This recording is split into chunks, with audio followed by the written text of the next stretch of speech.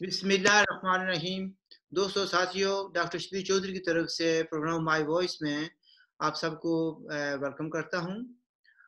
आज मेरे जो हैं गेस्ट जनाब, वैसे मैं गेस्ट का तारुफ कराने से पहले ये कहना चाहूँगा कि बहुत से पाकिस्तानी और कश्मीरी कहते हैं, जी भी हमारा प्राइम मिनिस्टर जो है ना, वो बड़ा स्मार्ट है और वो अंग्रेज़ी बड़ी अच्छी बोलता है।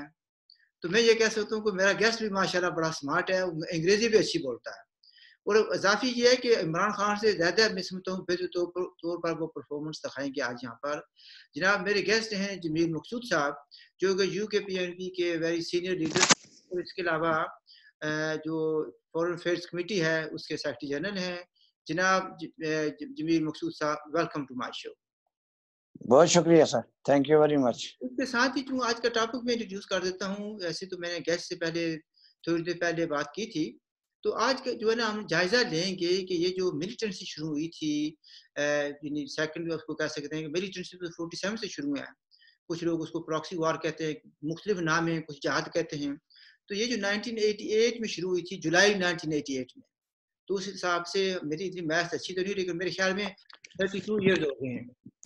तो बत्तीस साल हो गए हैं इस मिलिटेंसी को शुरू हुए।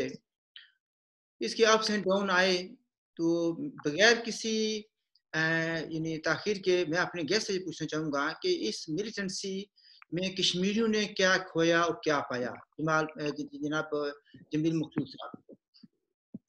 जनाब, डॉक्टर साहब, बहुत शुक्रिया आपका कि आपने इस शो में मुझे अपने ख्याल का, इजहार का मौका दिया।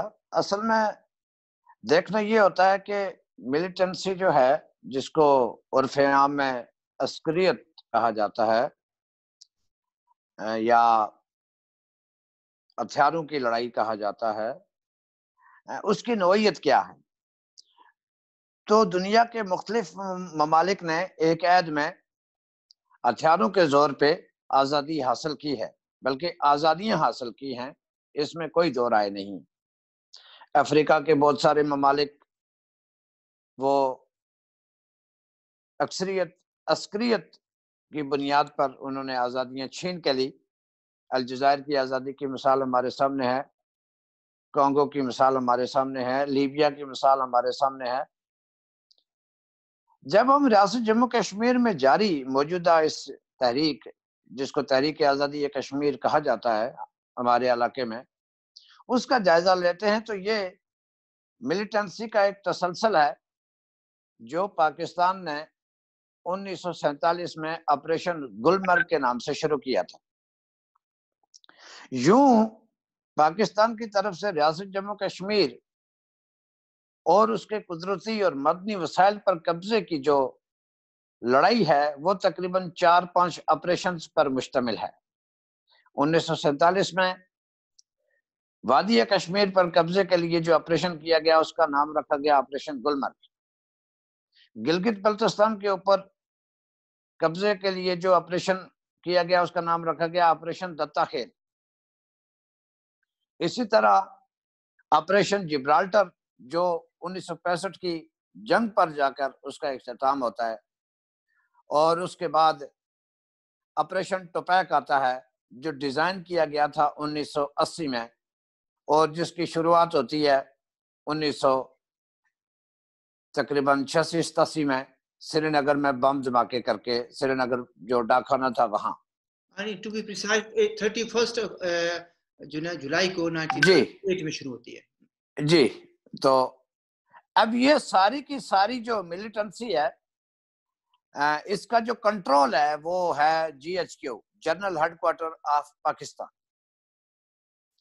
अब एक ऐसी आप कैसा ये तो अगर जीएचक्यू के पास कंट्रोल है तो ये कश्मीरियों की स्ट्रगल नहीं है। ये तो कहते हैं कि कश्मीरियों की ज़्यादा की जंग है। तो अगर कंट्रोल उनके पास है तो फिर क्या हुआ?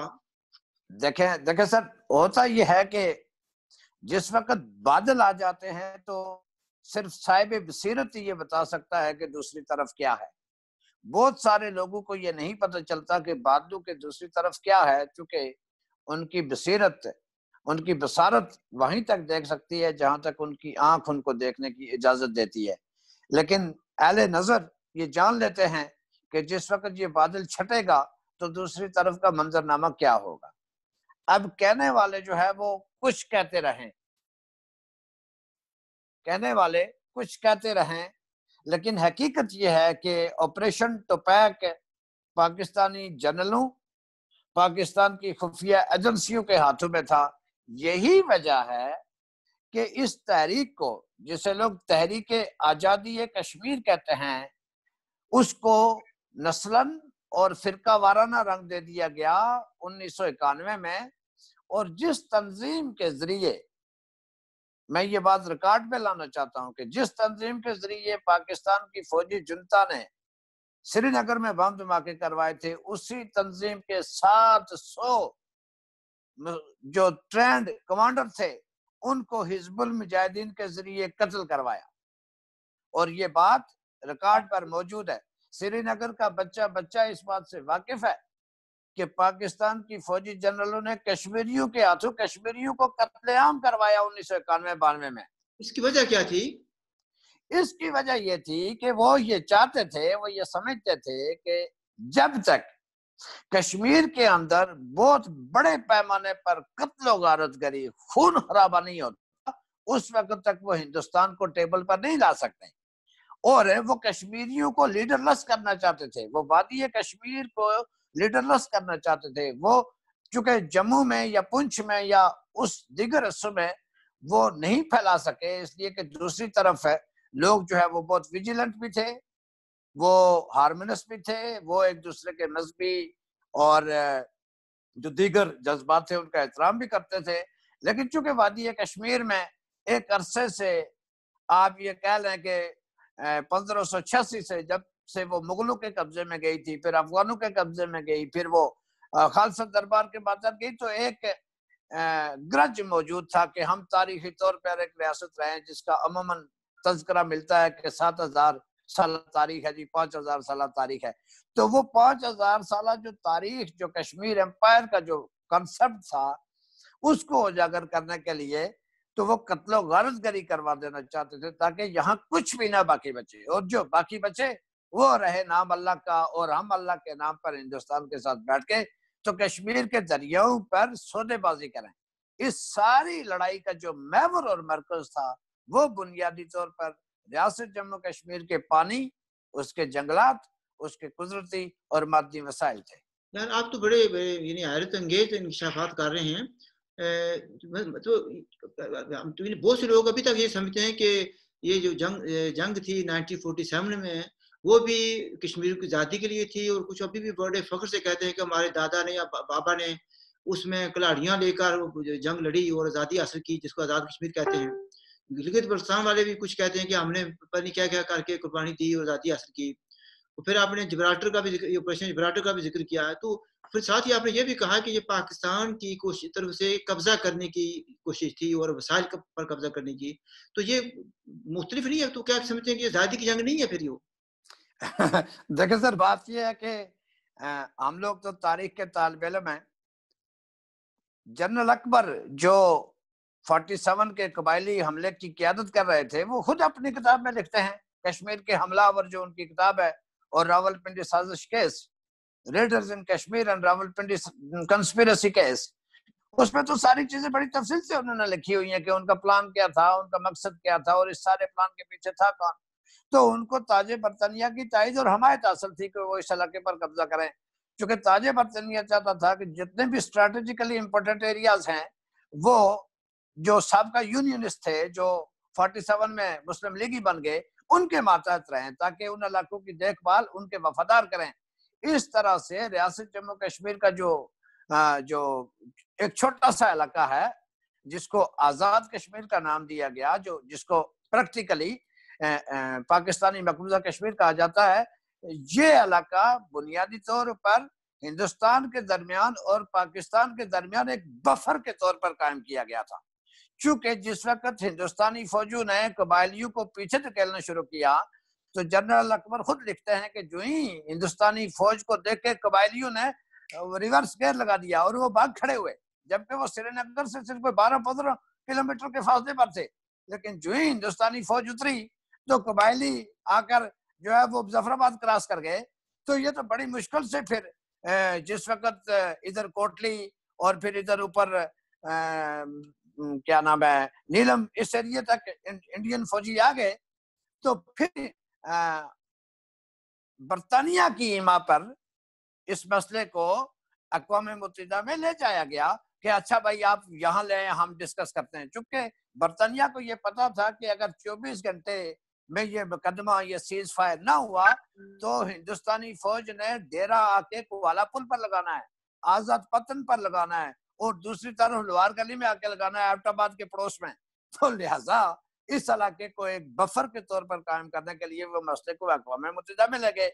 और फिर उसको बड़ी दिलचस्पी की बात है कि चैप्टर सात के बजाय चैप्टर छह के ज़रिए उसमें जो करारदादे मंजूर करवाई, जिनकी हैसियत महज रिकमेंडरी थी कि सिफारिशात की हैसियत थी कि हिंदुस्तान ये करे, पाकिस्तान ये करे जाए। और फिर बाद में जिस वक्त पाकिस्तान की बारी आई, चुके पाकिस्तान के पास तो कोई लोकल स्टैंडाई नहीं था, कोई आईनी और कानूनी हैसियत नहीं थी दाखिले की, कबायलियों के ज़रिए और फिर रेगुलर ट्रुप्स के ज़रिए तो बरतानिया ने भी पाकिस्तान को, जो उस वक्त तक पाकिस्तान की एक कॉलोनी थी, उसको, उस पर ये ज़ोर नहीं दिया कि आप यहाँ से अपने फौजी भी निकालें और जो इब्तदाई करारदाद है, सत्रह जनवरी उन्नीस सौ सैतालीस की, फिर तेरह अगस्त उन्नीस सौ अड़तालीस की करारदाद है, फिर मायदा जंग बंदी है, उसकी जो तीन चार हिस्से हैं, उसकी जो शराय जो इम्पोज की गई थी पाकिस्तान पर तो उन्होंने नहीं कहा कि पाकिस्तान पर के आप इन पर अमल दरामद करें और अपने कबायलियों को भी यहाँ से निकाले और फौजियों को कबायली तो भागे थे, हिंदुस्तानी फौज के कश्मीर में दाखिल होते हैं, लेकिन रेगुलर जो फौजी थे इनके, ये वहाँ बना रहे थे, मोर्चे बना रहे थे और अपनी पिक्टिंग उसको मज़बूत कर रहे थे और उनको कुछ सबक, जो रिटायर्ड बरतानवी फौज के मकामी लोग थे, उनकी भी ताइज और हमायत हासिल थी। कुछ लोगों की, अक्सरियत की नहीं, जैसे कहा और समझा जाता है, लेकिन कुछ लोगों की उनको ताइज और हमायत हासिल थी। तो ये सारा प्लान तो ताज बरतानिया का था, जिसको पाकिस्तानी फौज जो है वो एग्जीक्यूट कर रही थी। और उन्होंने उस हद तक ही एग्जीक्यूट किया, जिस हद तक बर्तानिया चाहता था कि इस मसले को यहाँ लाकर खड़ा कर दिया जाए। और जब वो वहाँ लाकर खड़ा हो गया अकवा में मुतदा में आ गया रेस्पेक्टिव एडमिनिस्ट्रेशन कायम हो गई तो उन्होंने कहा, जी, अब सीजफायर है, अब दोनों मुल्क जो है वो मज़े करो। अच्छा मेरा जो पहला यूट्यूब का चैनल था, वो तो पाकिस्तानी भाइयों की कोशिश से बंद हो गया है। नज़र आता है कि ये भी जल्दी बंद हो जाएगा। ये जो आप हैरत अंगेज इंकशाफात कर रहे हैं तो ये तो मुख्तलिफ़ है उससे जो कि पाकिस्तान में पढ़ाया जाता है या आज़ाद कश्मीर में जो पढ़ाया जाता है लोगों को या गिलगित बल्तान में, यूनिवर्सिटी कश्मीर में भी कुछ और तालीम दी जाती है। तो ये जो आप कह रहे हैं, ये मस्तनद बात है ना, जो बातें कर रहे हैं। तो फिर ये कहा जाता है जी भी ये हमारे जो कहते हैं, मेरे चाचा ने ये किया था या मेरे बाप ने ये किया था तो ये खाली लोकल वैसे बातें हैं या उनमें कोई कुछ सदाकत है? तो अगर ये पाकिस्तान ने सब कुछ किया था तो फिर हम हमारे जो लोग हैं, वो किस चीज़ का क्रेडिट देते हैं? कोई गाजी बना हुआ है, कोई मिजाज बना हुआ है? तो ये क्या बात हुई फिर? ये तो सारा खेल था प्रोपेगेंडा बल्कि जनरल अकबर खुद अपनी किताब में लिखते हैं कि मेरे पास एक मकामी आदमी आया ये ऊपर वो शायद नीलम के किसी एरिया में थे या बिल्कुल बॉर्डर पर थे उससे भी आगे थे। तो कहता है कि मैं मैं कौन सा अहदा ले लूँ? उसने अपना तारफ करवाया कोई ब्रिगेडियर के या कोई कर्नल कहकर तो जनरल अकबर लिखता है कि मैंने उसे कहा जो मर्ज़ी है बन जाओ यार कोई मसला नहीं है तुम खुश हो जाओ। तो ये तो वो कहानी जो इस सारे खेल के अच्छा थे। अब मैं जो खुर्शीद की बात कर रहे हैं मेरे ख्याल में ठीक है? तो तो ऐसे बहुत सारे वाक्यात हैं। ऐसे भी लोग थे जो बरतानवी फौज से सिपाही रिटायर थे। वो कोई कर्नल बन गया कोई हवलदार रिटायर था तो वो ब्रिगेडियर बन गया। बस जिसके मन में जो आया वो बन गया जो वो बनना चाहता था। टॉपिक से हम जरा अटके हैं यहाँ पर चूँकि आपने बात शुरू कर दिया है तो मैं एक सवाल पूछना चाहूँगा। जी सर। कि बहुत से लोग जो आज़ाद कश्मीर के थे उस वक्त आज़ाद कश्मीर तो नहीं था लेकिन चलो के थे और जिन्होंने महाराजा से अलफ लिया हुआ था कि वो उनसे बंदूक ली थी ट्रेनिंग ली थी फौजी थे वो कुछ अफसर भी थे। तो उन्होंने अल्फ ये लिया हुआ था कि वो महाराजा की हिफाजत करेंगे उसके ख़ानदान की हिफाजत करेंगे उसकी रियासत की हिफाजत करेंगे। और ज़रूरत पड़ी तो अपनी जान भी कुर्बान कर देंगे ये अलफ था। इसके बदले में उनको ज़रा वर्दी मिली ट्रेनिंग मिली, बंदूक मिली जितनी मराहत थी, फौजी को वो मिली उनको। तब जब जब वक्त आया जिसे हमले का आप ज़िक्र कर रहे हैं तो बजाय इसके कि वो डिफेंड करते और उसको अलफ के मुताबिक कुछ काम करते, कुर्बानी देते तो वो तो हमला आवरों के साथ मिलके तो फिर ये लोग जो है, इनको तो आप मुजाहिद या ऐसे नामों से कैसे कह सकते हैं, गाजी कैसे कह सकते हैं? इनको तो फिर कुछ कोलेबोरेटर्स या कुछ और नाम देना चाहिए ना। सर, ये हमें क्या ज़रूरत है? देने की वो तो खुद अपना तारीख में अपनी जो भी उनका किरदार था, वो तो तहरीर कर चुके हैं। मसलन गलगित के जो हैं कर्नल मिर्ज़ा हसन, उनकी अपनी किताब है, शमशीर से जंजीर तक। और उसमें तो ये सारे वाक्यात वो लिख चुके हैं। वो तो अपनी शर्मिंदगी का इजहार कर चुके हैं। इसी तरह सरदार इब्राहिम साहब, जो उनकी तसनीफ है उसमें भी इस बात, इस शर्मिंदगी का इजहार वो कर चुके हैं कि जिस वक्त महाराजा रियासत जम्मू कश्मीर को आज़ाद और खुद मुख्तार करने की मनसूबाबंदी कर रहा था कोशिश कर रहा था तो हम लोग रियासत को तकसीम करने की जीतोजोत में मसरूफ थे। तो इससे बड़ी आपको और मुझे क्या ज़रूरत है उनको आ, जो है वो कोलेबरेटर कहने की गद्दार कहने की वो खुद खुद अपने आप को कह चुके हैं कि ये हम लोग इस रियासत के जिम्मेदार हैं इसकी तकसीम के जिम्मेदार हैं इसकी तबाही के जिम्मेदार हैं वो ज़िम्मेदारी ले चुके हैं। असमें मैं इसलिए पूछ रहा हूँ कि चंद दिन पहले किसी शायद वो जो मुताल पाकिस्तान का कोई एक्सपर्ट था तो वो मुझे बड़े दावे से कह रहा था कि जंग हमारे बड़ू ने लड़ी है और जीती है और आज़ाद कश्मीर को आज़ाद कराया तो मैं उस तनाजुर में कह रहा था थोड़ा बहुत इल्म मेरा भी है इन मामला में anyway exactly. let's come back to uh, जो कुछ हुआ 1988 onwards तो मेरा सवाल yes. वो उधर ही रह गया कि कश्मीरियों ने बत्तीस सालों में क्या खोया क्या पाया एक तो आपने क्या किया कि इस मुजाहिदीन के ज़रिए जो यानी दूसरी जमात के मिलिटेंट थे, उनको मरवाया गया। ये आप कह रहे हैं। लेकिन फिर यह है कि क्या ये आज़ादी की तारीख थी? कुछ लोग इसको टेररिज्म की तारीख कहते हैं, कुछ इसको प्रॉक्सी वॉर कहते हैं, कुछ इसको जहाद कहते हैं। तो जरा डिफाइन करें और साथ ये भी बताएँ कि कश्मीरी ने क्या खोया और जो मिनोरिटी थी मसल पंटू पर क्या गुजरी? तो ये वजात करें कि क्या पाया हम लोगों ने। देखें सर, बुनियादी तौर पर तो जो देखना होता है ना कि आज़ादी आप किस लिए मांगते हैं? आज़ादी का हसूल लोगों की तरक्की लोगों की खुशहाली, लोगों की इज्जतों और जिंदगियों की जमानत के लिए होता है। आज़ादी का हसूल, जमील मकसूद या डॉक्टर शबीर चौधरी या किसी दूसरे की ज़ाती ख्वाहिशात की तकमील के लिए नहीं होता। आज़ादी का हसूल वसी तर आवाम के बुनियादी जो जो हकूक होते हैं, अगर वो कहीं नहीं है तो उनकी बहाली के लिए होता है। अब श्रीनगर की जो जो जंग थी, इसमें आप ये देखें कि प्रोफेसर को मारा गया डॉक्टर्स को मारा गया जजेस को मारा गया, साफियों को मारा गया, खातन को मारा गया, खातन के ऊपर तेजाब फेंके गए उनको कत्ल किया गया। इसी तरह से और बहुत सारे इंसानी जो जराइम है, वो किए गए और उन लोगों के हाथों किए गए जो बाज़ार आज़ादी के दावेदार थे। एक ये बात है पहली।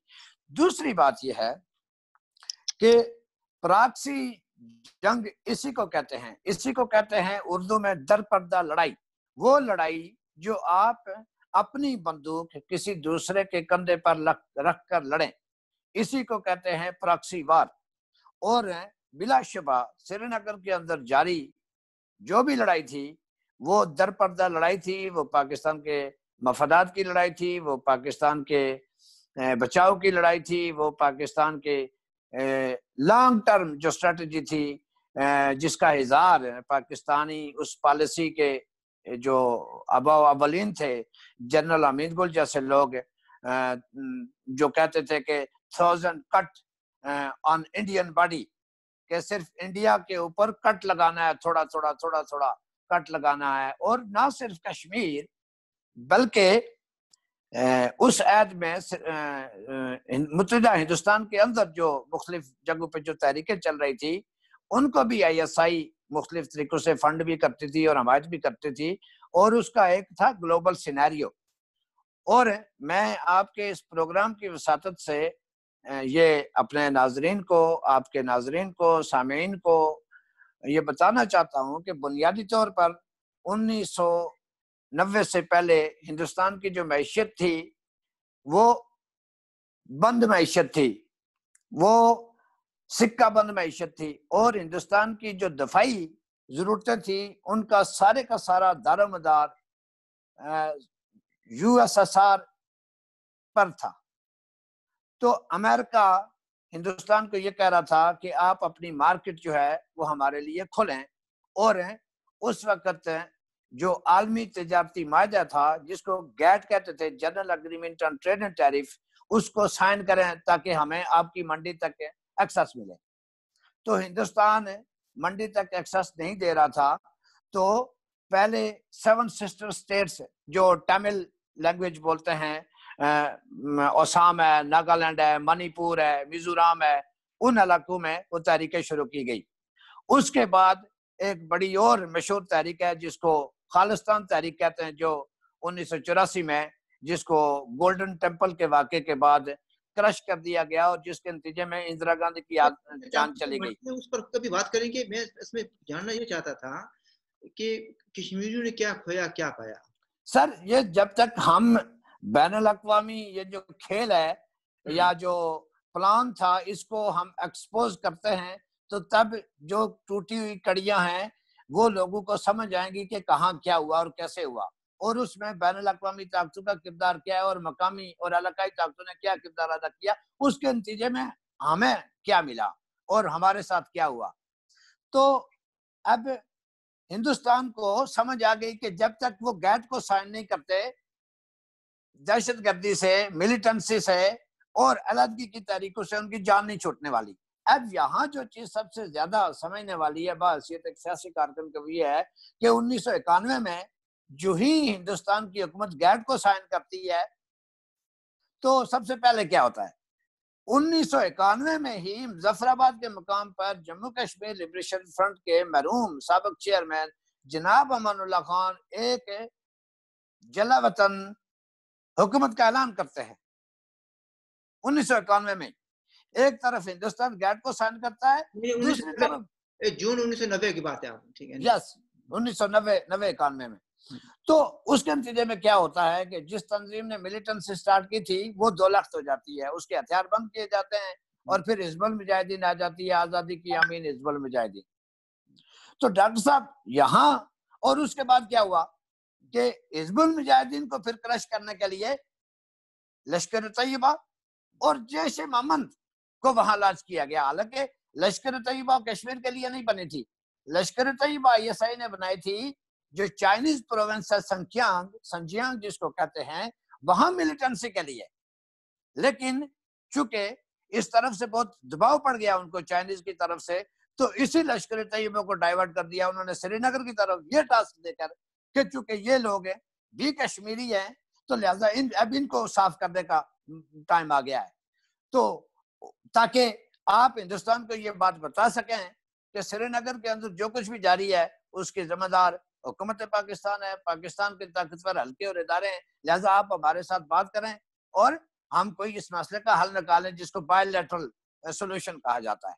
तो ये था मेरा नुकता जो अपने सामीन को नाजरीन को बताना ज़रूरी था। आपके साथ एक मुझे एक और प्रोग्राम करना पड़ेगा इसमें टाइम रहा खत्म हो रहा है और क्योंकि हम आपने उसको ब्रोडर सेंस में बात कर दी है।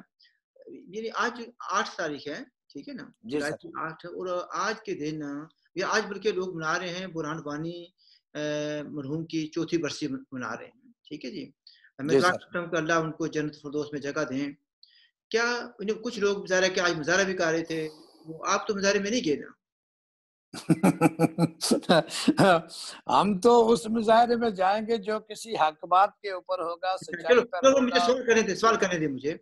पर वो आपकी मर्ज़ी है जाए ना जाए लेकिन क्या क्या वो सवाल खत्म होने दें क्या वो आपके भी हीरो थे? एक बात और दूसरा ये था कि उन्होंने उन्होंने अपनी क्या लेगेसी छोड़ी है कश्मीरियों के लिए? देखिए पहली बात तो यह है कि हमारे हीरो तो यकीनन वो नहीं हो सकते। खुदा के लिए लड़ने वाले और मज़हब के नाम पर लड़ने वाले और मज़हब के नाम पर अपने हम वतन शहरियों को गोलियाँ मारने वाले, उनका कत्लेआम करने वाले और उसको जायज़ समझने वाला, कोई भी शख्स हमारा हीरो तो कतल नहीं हो सकता। ये तो बात बिल्कुल वाज है वाशकाफ है और साफ़ है। दूसरी बात यह है कि उनकी लगेसी कोई नहीं है। इंताब संदी की क्या लगेसी होती है? दहशत गर्दी की क्या लगेसी होती है? आपके पास बंदूक है तो जिसके पास उससे ज़्यादा सुपीरियर बंदूक होगी वो आपको मार गिराएगा। तो मिलिटेंसी ने आ, कहीं भी आज के ऐद में बिलखसूस जो जो 1990 के बाद का यानी पोस्ट सोवियत जो इरा है उसमें मिलिटेंसी ने कहीं भी कोई काबिल ज़िक्र रिज़ल्ट जो है वो बरामद नहीं किया। आप फलस्तीनियों की तारीख देख रहे हैं वो इस तारीख से कई ज़्यादा स्ट्रांग थी। बहुत ज़्यादा मिलिटेंसी थी उसमें। उसमें इसराइल के त्यारे तक अगवा किए गए रॉकेट मारे गए। बड़ी हैवी जो है वो आर्मामेंट इस्तेमाल की गई, लेकिन उसका नतीजा भी जाके टेबल पर ही वो हुआ। और आज भी जो वो है, वो किसी न किसी सूरत में मुजाकरात की शक्ल में ही है। तो कश्मीरियों को, वादी कश्मीर के लोगों को, वहाँ की सियासी क्यादत को इन आलमी मामला से सबक सीखना चाहिए और उनको ये पता होना चाहिए कि आप जब भी हथियार उठाते हैं, आप जब भी किसी दूसरे के काज के लिए हाँ आप अपने काज के लिए अगर लड़ाई लड़ रहे हो तो पूरी दुनिया आपकी हमायत करती है। लेकिन जिस वक्त आप किसी दूसरे मुल्क के लिए तो ऐसी दरपदा लड़ाइयों की आलमी बरादरी हमायत नहीं करती। और यही वजह है कि कश्मीर में आबाद होते हुए कब्रिस्तानों का किसी ने नोटिस तक नहीं लिया। हमने यहाँ यूरोपियन पार्लियामेंट में देखा है, बहुत कुछ देखा है। 2007 की करारदाद भी देखी है, उससे पहले होने वाले डिबेट भी देखे हैं। ह्यूमन राइट्स कमेटी की मीटिंग भी देखी है और फॉरेन अफेयर्स कमेटी की मीटिंग्स भी देखी हैं। दर्जनों एम के साथ हमने मुलाकातें भी की हैं। आप तो इस बात के गवाह हैं। अच्छा ये तो, जो आप रिपोर्ट कह रहे हैं गालबन आप जिसको आमतौर पर कहा जाता है एमा निकसन रिपोर्ट उसकी बात कर रहे हैं 2007 जी सर जी सर जी सर। तो तो इन इन सारी चीज़ों के हम यानी शायद पाकिस्तान के हक में आई थी वो रिपोर्ट या क्या बात थी उसमें नटशल में नहीं नटशल में पाकिस्तान के हक में तो नहीं थी। उन्होंने तो रियासत जम्मू कश्मीर के इस पूरे नक्शे को रिडिफाइन कर दिया था कि रियासत जम्मू कश्मीर कौन सी है और पाकिस्तान और चीन दोनों के जो दावे थे उनको मुस्तरद कर दिया था यूरोपियन पार्लियामेंट ने 2007 की करारदाद में। अच्छा अक्सरियत से पास हुई थी वो है? जी वो 522 वोटों की अक्सरियत से पास हुई थी और पाकिस्तान या पाकिस्तान की जो हामी लाबिस थे उनको सिर्फ़ सात वोट मिले थे और दो वोट जो है वो अब्सटेंस थे। अच्छा सिर्फ़ सात? अच्छा अच्छा जी टोटल सात वोट मिले थे। अच्छा, अच्छा। चलिए फिर कभी तो, तो आप ये कह रहे हैं कि जो जो आपका जो मैसेज है वादी कश्मीर या वहाँ के रहने वाले लोगों के लिए वो ये है कि अस्क्रियत या बंदूक को छोड़ दें और जो है ना सियासी रफ्तार अपनाएँ। यही आप कह रहे हैं कि पीसफुल बिल्कुल बिल्कुल एग्जैक्टली और मैं आपके सिर्फ़ दो मिनट में एक बात को कंक्लूड करना चाहता हूँ कि ये जो हमारा खिता है पाकिस्तानी मकबूजा कश्मीर है मैं यहाँ के लोगों को एक पैगाम देना चाहता हूँ कि आप अपनी खुद निसारी की पॉलिसी अपनाएँ, अपना उगाएँ, अपनी ज़रात की तरफ़ तवज्जो दें, अपनी पैदावारी सरगर्मियों में आप ज़्यादा से ज़्यादा शरीक कार हूँ, अपने नौजवानों से ये मैं मुतालबा करता हूँ, ये मैं उनसे दरख्वास्त करता हूँ, ये मेरी उनसे रिक्वेस्ट है कि बर मेहरबानी आप पंजाब की जार आलूदा सब्ज़ियाँ खाने से ये बेहतर है कि आप मकामी तौर पर अपनी ज़रात को जो है वो उसको रिवाइव करें, जो खेती बाड़ी आपने छोड़ दी है, उसको दोबारा स्टार्ट करें और ताकि आप जो है वो आप अपनी मैशत पे खड़े हो सके। चूँकि हमारी मैशत फॉरन रेमिटेंसेस पे खड़ी है, हम बाहर से पैसा बेचते हैं तो हमारे घर में सामान आता है। तो बर मेहरबानी इस पॉलिसी से बाहर निकलें, अपनी मुकामी मैशत खड़ी करें, ताकि आप, जो है वो आपकी एक सेल्फ सफिशेंट इकानमी हो, तभी जाकर आप अपने बुनियादी, सियासी, समाजी, आईनी, कानूनी और जमहूरी हकूक को पहचान पाएँगे। और उसकी लड़ाई भी लड़ पाएँगे। देखिए जी आप सेल्फ सफिशिएंसी की बात कर रहे हैं भी सारा कंट्रोल तो इस्लामाबाद का है। जितने हमारा फॉरन फिर जाता है यहाँ से फॉरन से फंडिंग जाती है पैसे लोग भेजते हैं या दूसरी चीज़ें आती हैं बाहर से मदद आती है वो तो एक ही बना हुआ है उनमें पार्ट बनाया हुआ है वहाँ चला जाता है। और इस तरह से जो जो हमारे रिसोर्सेज थे वो भी बड़ी माशाला बड़ी जेनरसली वो उसको एक्सप्लोर कर रहे हैं। तो सब्ज़ियाँ उगाने पर मैं इतराज नहीं कर रहा। लेकिन जो, जो बड़े हमारे सोर्सेज हैं वो तो हमारे कंट्रोल में नहीं है। एग्जैक्टली exactly, हमारे कंट्रोल में नहीं है लेकिन देखें पहली बात यह कि लोग जिस वक्त गरीब होते हैं या पसमानदा होते हैं तो वो दिमाग के बजाय वो पेट से सोचते हैं। तो लिहाजा एक सियासी कारकुन होने के नाते हमारा ये काम है कि हम लोगों को पेट से निकालें और दिमाग से सोचने के काबिल बनाएँ। उसके लिए ये ज़रूरी है कि हम ये मैसेज दें। चूँकि लोग लोग जो है वो खुद इंसार होंगे, उनके पास अपनी मैशियत होगी तो वो खड़े हो पाएँगे। दूसरी बात ये आपने वसाइल की बात की तो हुकूमत पाकिस्तान ये जितने भी डैम बना रही है, पाकिस्तानी मकबूजा कश्मीर में और गलगित बल्तिस्तान में, ये वो अपने मैंडेट से तजावज कर रही है। ये बैन अवी तौर पर उसका जो वादा है, आलमी बरदरी से, ये उससे वो तजावज कर रही है। ये इंसानी हकूक की खिलाफ वर्जी कर रही है। वो मुकामी लोगों को पानी जैसी बुनियादी ज़रूरत से महरूम कर रही है। और हम इस प्रोग्राम की साथ से ये वार्निंग देते हुकूमत पाकिस्तान को कि अगर आप इन मनसूबों को तर्क नहीं करते, इनको स्टॉप नहीं करते और हमारी, हमारे मदनी और कुदरती वसाइल को, पानियों को, दरियाओं को, उनको कॉलोनाइज करने की जो आपकी पॉलिसी है, अगर आप इससे बाज नहीं आते तो इससे आपके खिलाफ बहुत बड़ी तहरीक जो है वो सर उठाएगी और आपको भागने का रास्ता नहीं मिलेगा उन पहाड़ों में। ये बात आप याद रखें जिस तरह आपने बलूचिस्तान के वसाइल को लूटा और आज आप वहाँ से लाशें उठा रहे हैं वो वक्त आने वाला है कि आप लोगों को इतना मजबूर कर बैठेंगे लोगों को इतना तंग कर बैठेंगे लोगों को इतना आ, उनको जबर कर बैठेंगे कि उनके पास वापस मुड़कर पलट कर वार करने के अलावा कोई हथियार पीछे नहीं बचेगा और जो आपका अगर ये मान है कि चीनी फौज और चीनी जो एक्सपर्ट है वो आपको बचाएँगे तो वो आपको बिल्कुल भी नहीं बचाएँगे। और ये जो कश्मीरी हैं, ये अगर सह रहे हैं जबर तो इनको इतना मत दबाएँ कि ये पलट कर वार करने पर मजबूर हो जाएँ।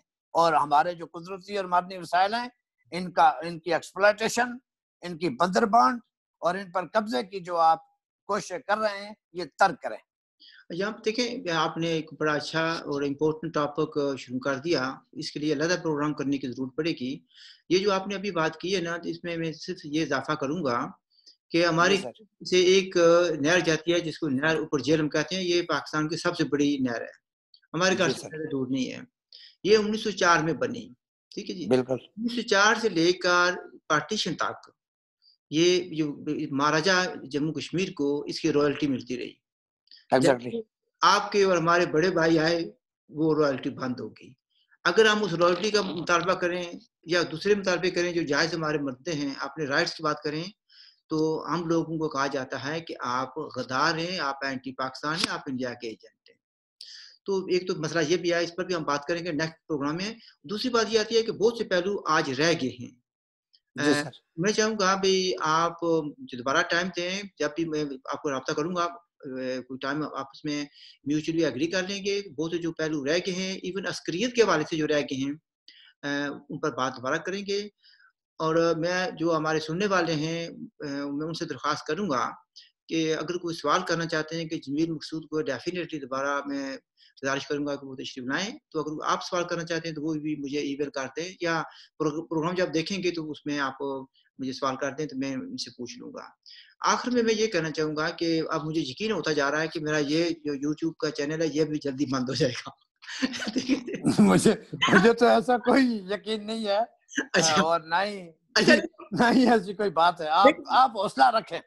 नहीं नहीं लेकिन मैं कहता अक्सर कहता हूँ भाई हु केयर्स ठीक है? हु केयर देखिए सर बात यह है कि हुकूमत पाकिस्तान ने मेरा पासपोर्ट जब्त कर रखा है पिछले दो सालों से। जैसे आपका शनाख्ती कार्ड हम्म। और आपकी फैमिली का शनाख्ती कार्ड जब्त किया गया था।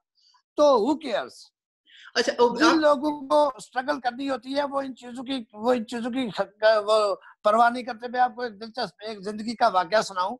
मुझे 2005 में एक बहुत नामी ग्रामी बंदा मिला ब्रसल में।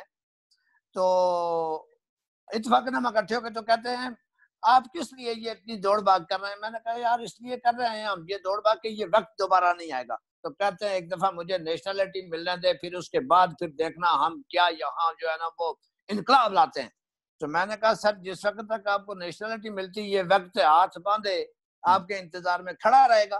तो लिहाजा हमें इस बात की कदम कोई परवाह नहीं है कि हम यहाँ कानूनी है गैर कानूनी है लीगल है इलीगल है क्या है क्या नहीं है हमारा काम है अपनी जिदोजहद को पूरा मन तरीके से आलमी जो रवायात हैं उनके मुताबिक जारी और सारी रखना। वो बकौल मियाँ मोहम्मद बख्श के के माली दा कम पानी लाना पर पर मशका पावे ते मालक दा कम फल फुल लाना लावे या ना लावे। अच्छा इसमें जो आपने जो मेरे आईटी का कार्ड ज़िक्र कर दिया। आईटी का कार्ड जो है ना मुझे भी मिल गया और मेरी बेटी को भी मिल गया ठीक है? जी सर। लेकिन इसका मतलब ये नहीं कि मेरे मसाइल खत्म हो गए मसाइल बढ़ मसाइल का मसाइल का खत्म होता है अच्छा, और एक बात ये भी है कि जो मेरे बैंक अकाउंट्स हैं वो अभी तक फ्रोजन है। अब उन्होंने हम्म। ये शर्त लगा दी है कि वे डॉक्टर शबी चौधरी को बोलो कि बजाते खुद हाजिर होए और फिर जाकर हम इसको एक्टिवेट करेंगे। चले आप आप हमें नेशनलिटी मिल रहे थे हम साथ चलेंगे। दोनों साथ चलेंगे। अच्छा मैंने किसी से बात की तो उसने कहा भी शायद बैंक अकाउंट तो एक्टिवेट हो जाएगा लेकिन आप डीएक्टिवेट हो जाएँगे।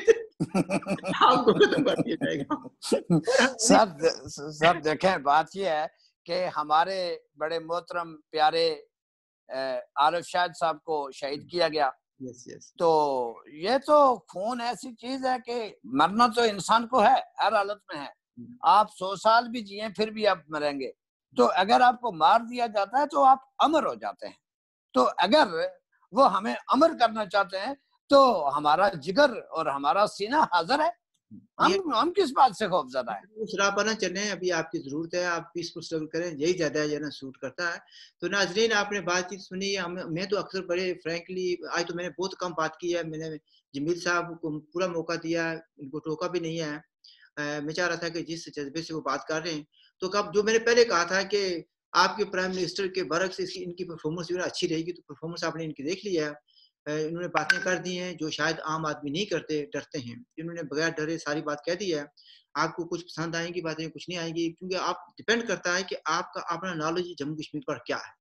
आप अगर आपने। सिर्फ़ ज़्यादा पाकिस्तान पढ़ा हुआ तो फिर तो ज़्यादा आपको पसंद नहीं आएगी। अगर आप ओपन माइंड सु, सुनेंगे सोचेंगे तो फिर आपको ये बातें सोचने पर मजबूर करेंगी। मैं इसी पर ख़त्म करता हूँ। आपको किसी दूसरे मेहमान के साथ दोबारा मिलेंगे। मेरी तरफ़ से आप सबको खुदा हाफिज़। Okay sir thank you very much बहुत शुक्रिया आपके इस कीमती वक्त का। अपना बहुत सारा ख्याल रखिएगा। थैंक यू जनाब। अल्लाह हाफिज़।